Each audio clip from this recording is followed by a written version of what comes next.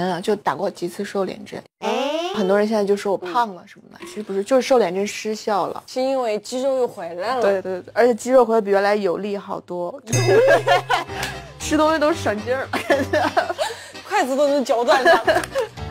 还每天都吃竹子什么的。哇，我我们什么？给我弹出来了。夸张，咱俩演的都不好。夸张夸张。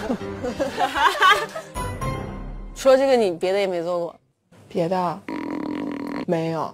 我小的时候其实考虑过很多各种就是微调的那种项目，就外貌焦虑嘛，就会查说，哎，怎么怎么样能稍微变得更好。后来慢慢我觉得这个事儿就是一个看习惯了就好了。我不排斥自己在意容貌这件事儿，我觉得它就是有一个度吧，就是每个人都希望自己变得更好嘛，但你你要会判断那个风险能不能承担，而且值不值得你去承担。